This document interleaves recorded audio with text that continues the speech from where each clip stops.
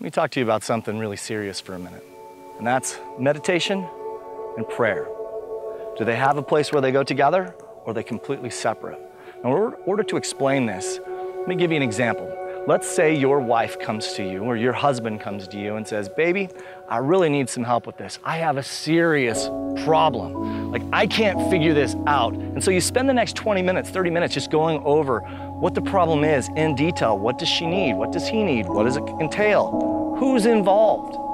And then it gets to the end and you tell them or you give them your life experience and you say, Sweetheart, this is exactly what I would do. And not only does she not listen to you, she continues speaking over you until she leaves the room. And now you're sitting here frustrated because if you just gave all of your life experience to somebody that you love dearly and they wouldn't take, they wouldn't take it at all. They just walked away from you, didn't even care to listen. Now, let's take this up to prayer. You say, Dear Lord, Thank you for my bountiful blessings. Thank you for my health. Thank you for my business. Thank you for my kids. And you go on giving examples of all the things that you're thankful for. Then, in turn, you pause and you say, Now, please help me with this thing. Please, dear Lord, my cousin needs this. I need a new job. I need help. I need help to understand how do I manage my children? How do I have a better relationship with my wife? And you continue speaking until you shut it off and say amen. And you either get up off your knees and you go to work or you get up off your knees and you go to bed. But never once did you stop to listen to what he was saying. This is prayer.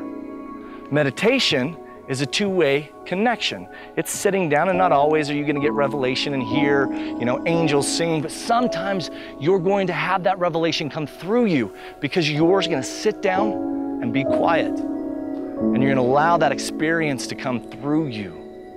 Now, if you have prayer, a one way communication, thank you for everything that you've given me. Please look out for me. Please help me. And then you add meditation, quiet time, guided meditation, whatever version it is that you feel is right for you. This is a two way communication.